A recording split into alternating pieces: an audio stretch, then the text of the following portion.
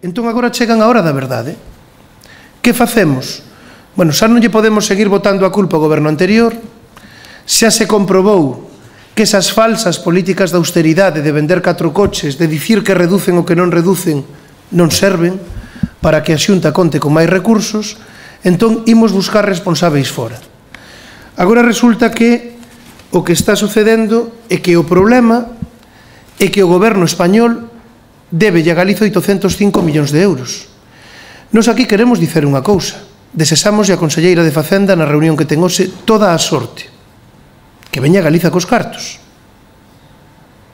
Que poda chegar pola tarde ou cando dé a roda de prensa e decir conseguimos os cartos que o Estado nos adeveda.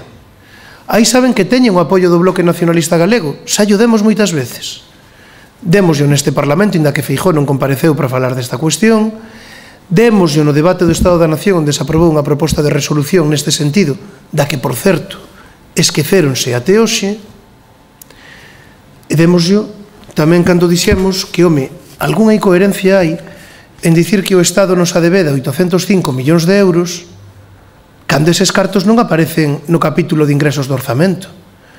Porque digo eu, non descubrirían agora que nos deben 805 millóns de euros, iso había que sabelo en outubro do ano pasado en outubro do ano pasado saco o proxecto de orzamentos do Estado aprobados, a Xunta de Galiza, no proxecto de lei de orzamentos que remitiu á Cámara, non contemplaba, non consignaba eses cartos nos orzamentos. Só 243 os do Fondo de Cooperación. Os outros, ate un total de 805, non aparecen. Estaremos de acordo en que iso non lle dá precisamente forza, non lle dá precisamente moita eh, capacidade de presión á Xunta de Galiza. Pero é que ademais hai algunha cuestión que tamén convén suliñar.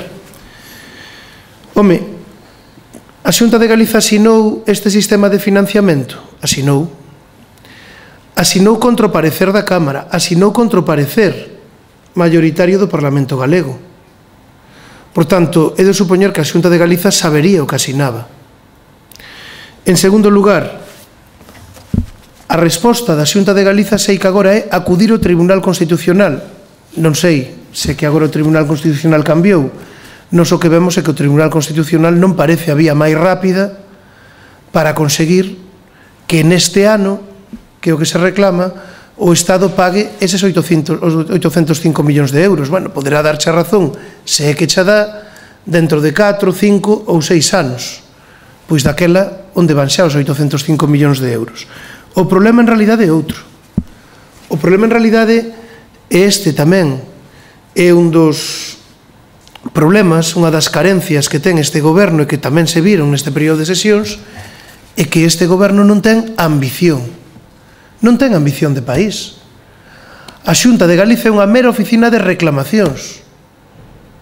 É unha mera dependencia do Partido Popular Español para facilitar a chegada de Rajoy a Moncloa. Pero se tivese realmente ambición de país, se actuase como goberno de Galiza, o señor Núñez Feijó o que debería é decatarse e actuar en consecuencia de que Galiza necesita un estatus político e un estatus financeiro distinto que necesitamos alargar, ampliar o noso autogoberno político con máis competencias e financeiro con máis recursos e cun estatus, cun marco de relacións distinta co Estado.